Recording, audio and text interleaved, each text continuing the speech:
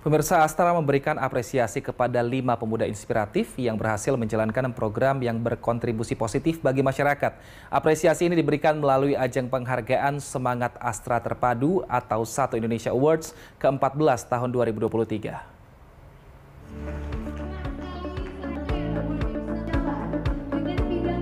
Astra kembali menggelar Satu Indonesia Awards.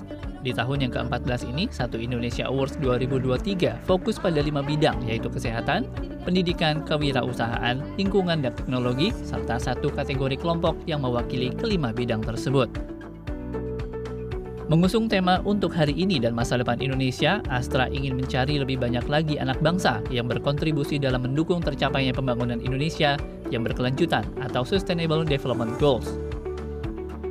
Tahun ini, kriteria penilaian Satu Indonesia Awards diperluas dengan menilai aspek keselarasan program peserta dengan prinsip keberlanjutan, yaitu Environment, Sustainability, dan Governance atau ESG.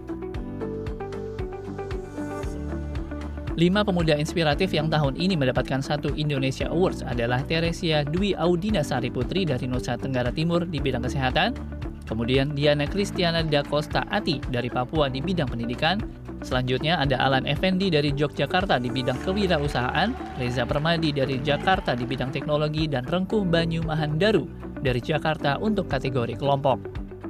Di sini Astra mampu uh, membuktikan bahwa Astra juga sampai masuk ke pedalaman Papua yang betul-betul daerah 3T. Jadi penghargaan ini semacam langkah awal bagi saya dan rekan-rekan saya untuk lebih giat lagi untuk mau tinggal di pedalaman sih sebenarnya dan yang saya rasa sampai saat ini adalah luar biasa. Nah, pedalaman itu e, membuat saya mengerti bahwa berbagi itu tidak selamanya dari kelebihan, tetapi berbagi itu dari kekurangan juga kita bisa berbagi. Ajang penghargaan Satu Indonesia Awards ke-14 tahun 2023 ini mendapat apresiasi besar dari para penerimanya. Program ini dinilai mampu menjaring dan mendukung program terbaik anak bangsa. Tak hanya di kota-kota besar, namun juga sampai ke pelosok seperti wilayah terdepan, terpencil, dan tertinggal. Jadi saya selalu punya prinsip 3K. K yang pertama adalah komitmen. Untuk membuat program harus punya komitmen yang kuat. Kemudian yang kedua adalah K yang kedua adalah konsisten. Programnya harus konsisten. Yang terakhir eh, K yang ketiga adalah kuat karena menjalani program ini pasti banyak alang melintangnya. Jadi mesti kuat sih uh, supaya bisa berlanjut sampai sekarang sustain. Para penerima penghargaan ini akan mendapatkan dana bantuan kegiatan sebesar 65 juta rupiah.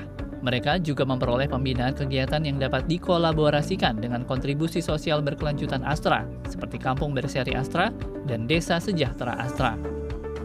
Kelvin Sipahutar, Mahesa Bismo, Jakarta.